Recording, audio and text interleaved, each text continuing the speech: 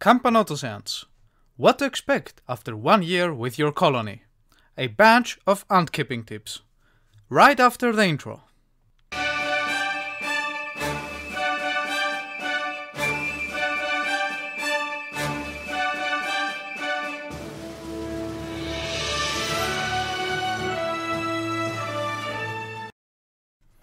Hello and welcome to another Ants Vienna video everyone.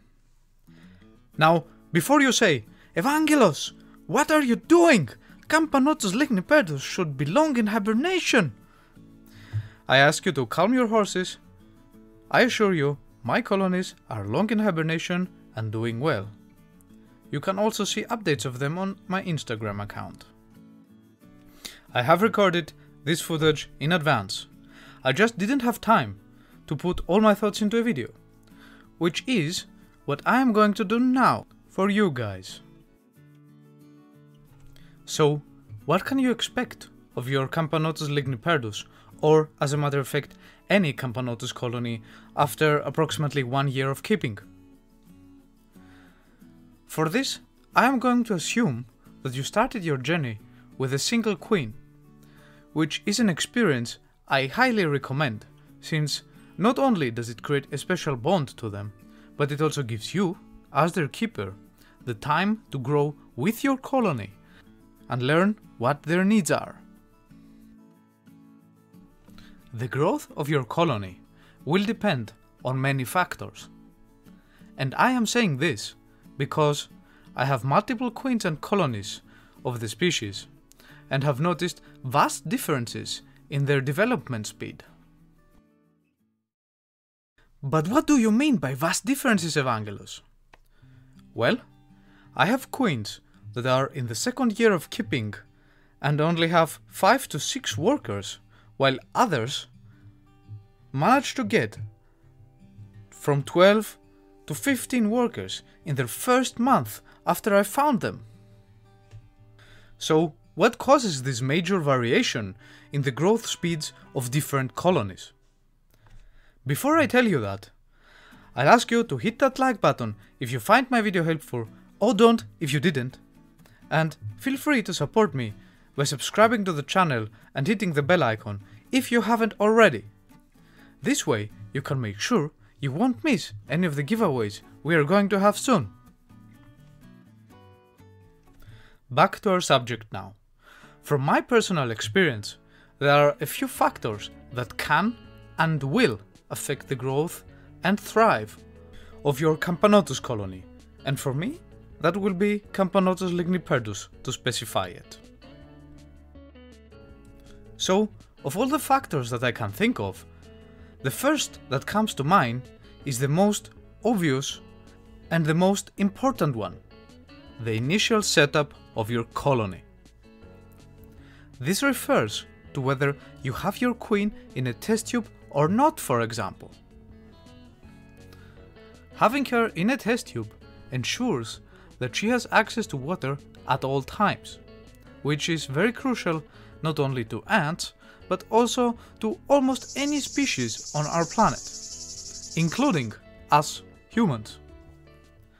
Now, of course, you can put her somewhere in like an Ytong or acrylic nest or farm, but that in itself comes with two inherited drawbacks.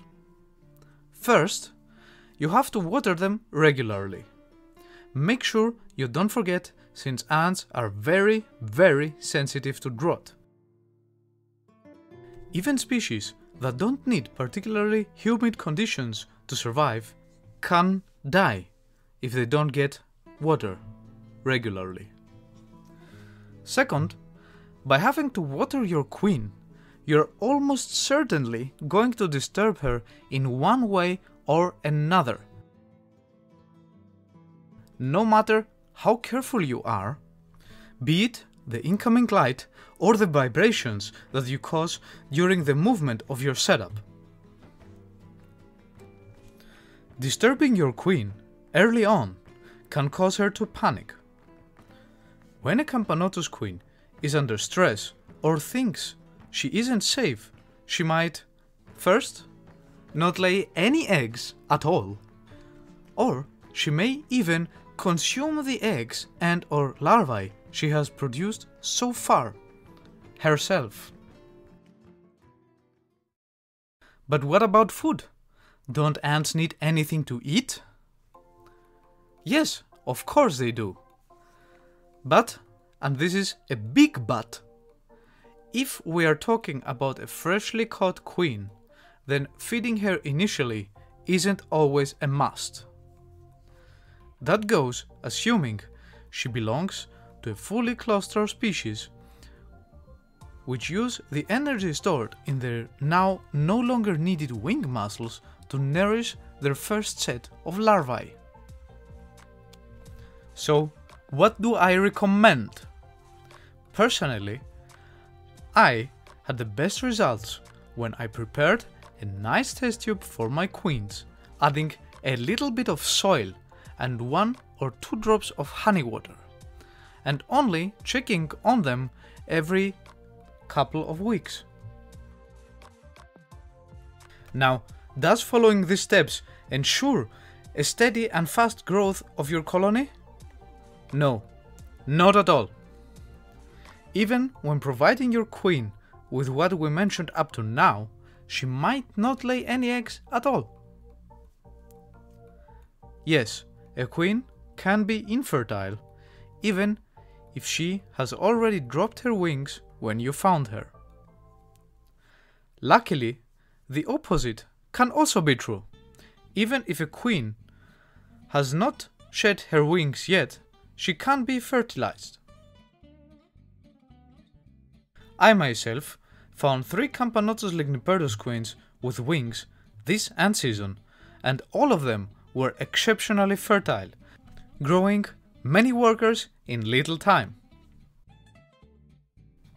By the way, all these tips we discuss here don't only apply to Camponotus queens, guys and girls. They are true for many ant species out there. So, to wrap everything we talked about up in a checklist.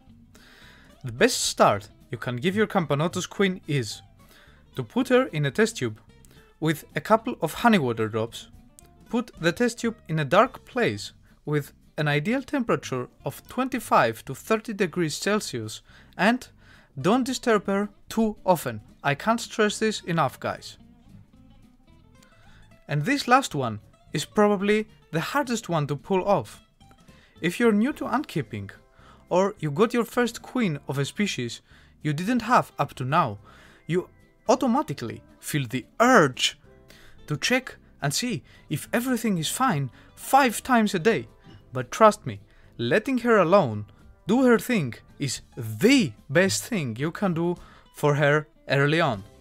Period. As with everything in life, finding a queen with her being fertile and naturally good not only at laying but also at growing her eggs into workers also needs a fair amount of luck. If you are buying a Camponotus queen, I suggest buy one with workers. First, because this is a good proof she is fertile. Yes, I know many ant dealers do push queens especially Camponotus ones because of their naturally slow development, but that's topic for another video. And second, because you get some more action early on. The more workers a queen has, the less vulnerable she feels, and the more movement you get to see as a keeper. With that being said, all colonies I have and display in my videos for you were found by myself as queens. With a few exceptions, being exotic species that I simply can't find here in Austria, and some others that I casually traded with other ant keepers. Since the online ant keeper community is not only awesome, but always very helpful in my experience so far. At this point, I want to say a big thank you to all of you guys my fellow keepers that are watching at this point. And now, I am going to leave you with the question of the day. What Camponotus ant do you keep? If any, how did you get them? Let me know in the comment section below.